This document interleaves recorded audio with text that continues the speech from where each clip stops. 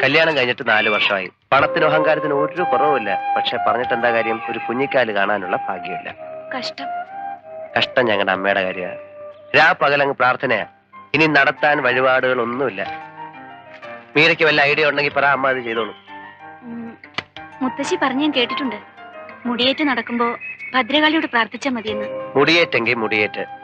പക്ഷെ അമ്മ പ്രാർത്ഥിച്ചിട്ട് എന്താ കാര്യം? ഡോക്ടർ അദ്ദേഹത്തിനും ഭാര്യയ്ക്ക് അതൊക്കെ പുച്ഛ അതുകൊണ്ട് ഒരു കാര്യം ചെയ്യാം. അഡ്വാൻസ് ആയിട്ട് നമുക്ക് വേണ്ടി അങ്ങ് പ്രാർത്ഥിക്കാം. എന്താ?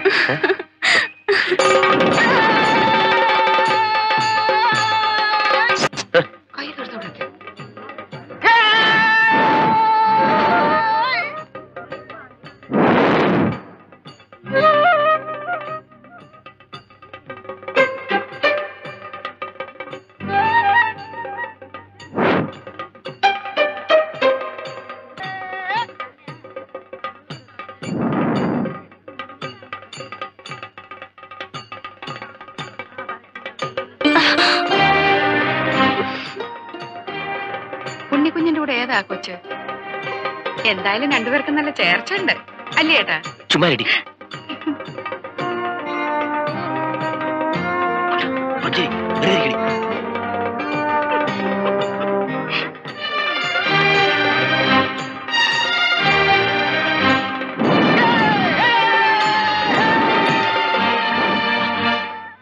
ഇതെന്തുവാ ഉണ്ണിക്കുഞ്ഞ് ഇത് മുടിയേറ്റ് കാളിയും കൂളിയും. കുഞ്ഞിൽ ചേച്ചിക്ക് മനസ്സിലായില്ലേ? മിലിറ്ററി ചേട്ടനത്ത് പറഞ്ഞു കൊടുക്ക്. വേണ്ട വേണ്ട. കൊറേയൊക്കെ ഞങ്ങൾക്കും മനസ്സിലാവും ഇല്ലയോ ചേച്ചി? എന്റെ പേര് മീര ഇത് ഞങ്ങളുടെ മാനേജിംഗ് ഡയറക്ടറുടെ ഏക സന്തതിയാണ് അച്ഛാ. ഒരുപാട് കുഞ്ഞുങ്ങളുണ്ടാവാൻ കാളിയെ സ്വാധീനിക്കാൻ വന്നത്. ദേ പിന്നെ കാളിയെ സ്വാധീനിച്ച അച്ചിട്ട ദേ ഇങ്ങോട്ട് നോക്കി ഇത് കണ്ടോ? ഏ ഇവളുടെ വയറ് കണ്ടോ? എന്തോ ചേട്ടാ? മോൾ അപ്പൊ മാരേജിംഗ് ആണോ? ഏ ഇല്ലല്ല. ഏ, കഴിക്കണം കഴിക്കും.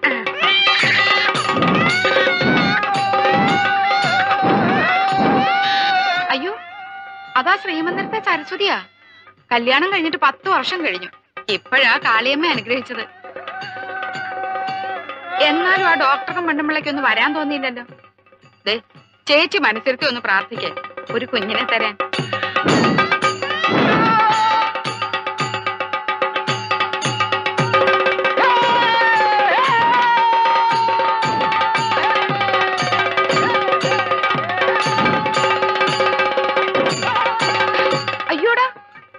അത് നമ്മുടെ എരിശ്ശേരിയല്ലേ അച്ഛന്റെ ഒരു ശിങ്കിടിയാ.